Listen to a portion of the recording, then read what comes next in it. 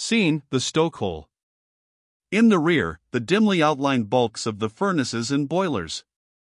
High overhead, one hanging electric bulb sheds just enough light through the murky air laden with coal dust to pile up masses of shadows everywhere.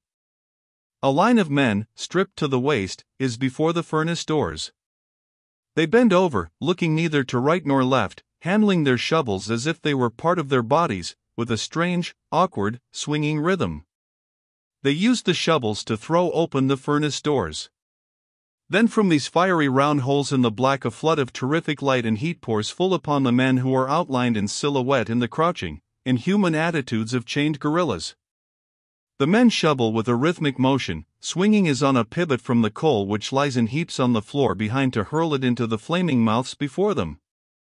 There is a tumult of noise, the brazen clang of the furnace doors as they are flung open or slammed shut, the grating, teeth gritting grind of steel against steel, of crunching coal. This clash of sounds stuns one's ears with its rending dissonance. But there is order in it, rhythm, a mechanical regulated recurrence, a tempo.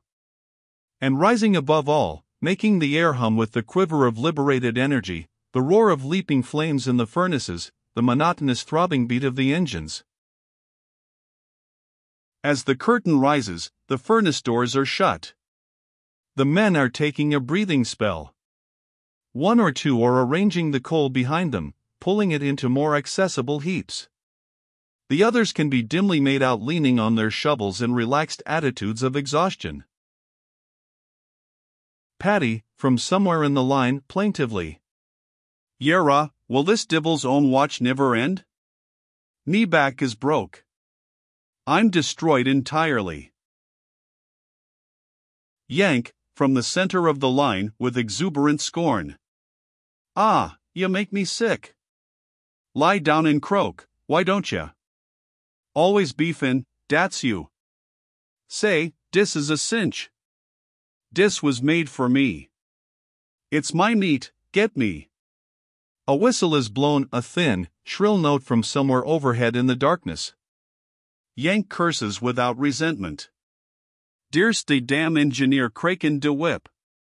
He tinks we're loafin'. Paddy, vindicatively. God stiffen him. Yank, in an exultant tone of command.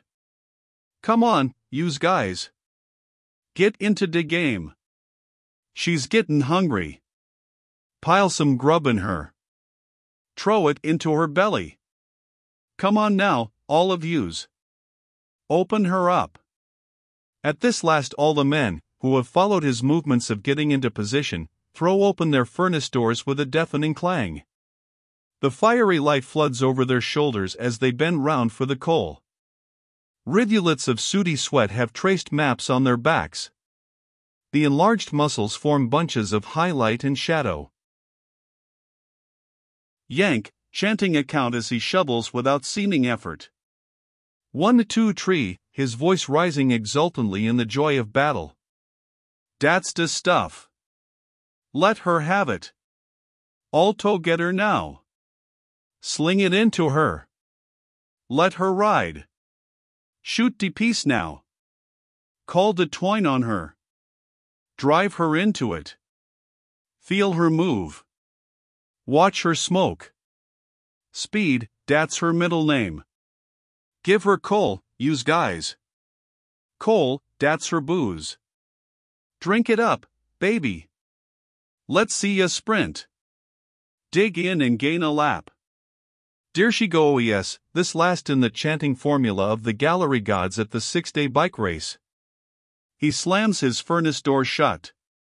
The others do likewise with as much unison as their wearied bodies will permit. The effect is of one fiery eye after another being blotted out with a series of accompanying bangs. Paddy, groaning. Knee back is broke. I'm bait out bait, there is a pause. Then the inexorable whistle sounds again from the dim regions above the electric light. There is a growl of cursing rage from all sides. Yank, shaking his fist upward, contemptuously. Take it easy, dear, you. Who dia tinks run in dis game, me or you? When I get ready, we move. Not before. When I get ready, get me. Voices, approvingly. That's the stuff. Yank tell him, py golly. Yank ain't afeard. Goot boy, Yank. Give him hell. Tell him he's a bloody swine. Bloody slave driver. Yank, contemptuously. He ain't got no noive. He's yellow, get me? All de engineers is yellow. Dey got streaks a mile wide. Ah, to hell with him. Let's move, use guys. We had a rest. Come on, she needs it. Give her pep. It ain't for him. Him and his whistle, dey don't belong. But we belong, see. We gotter feed de baby. Come on. He turns and flings his furnace door open. They all follow his lead. At this instant, the second and fourth engineers enter from the darkness on the left with Mildred between them. She starts, turns paler, her pose is crumbling, she shivers with fright in spite of the blazing heat, but forces herself to leave the engineers and take a few steps nearer the men. She is right behind Yank. All this happens quickly while the men have their backs turned. Yank, come on, use guys.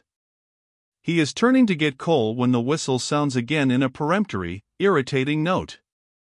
This drives Yank into a sudden fury. While the other men have turned full around and stopped dumbfounded by the spectacle of Mildred standing there in her white dress, Yank does not turn far enough to see her. Besides, his head is thrown back, he blinks upward through the murk trying to find the owner of the whistle, he brandishes his shovel murderously over his head in one hand, pounding on his chest, gorilla like, with the other, shouting toin off dat whistle. Come down out a deer, ya yellow, brass buttoned, Belfast bum, ya. Come down and I'll knock your brains out. Ya lousy, stinkin', yellow mud of a Catholic moiterin bastard. Come down and I'll water ya. Pullin' dat whistle on me, huh? I'll show ya. I'll crash your skull in. I'll drive your teeth down your throat. I'll slam your nose through the back of your head. I'll cut your guts out for a nickel, you lousy boob, you dirty, crummy, muck eaten son of a. Suddenly he becomes conscious of all the other men staring at something directly behind his back. He whirls defensively with a snarling, murderous growl, crouching to spring, his lips drawn back over his teeth, his small eyes gleaming ferociously. He sees Mildred, like a white apparition in the full light from the open furnace doors. He glares into her eyes, turned to stone. As for her, during his speech she has listened, paralyzed with horror, terror, her whole personality crushed, beaten in, collapsed, by the terrific impact of this unknown, abysmal brutality, naked and shameless.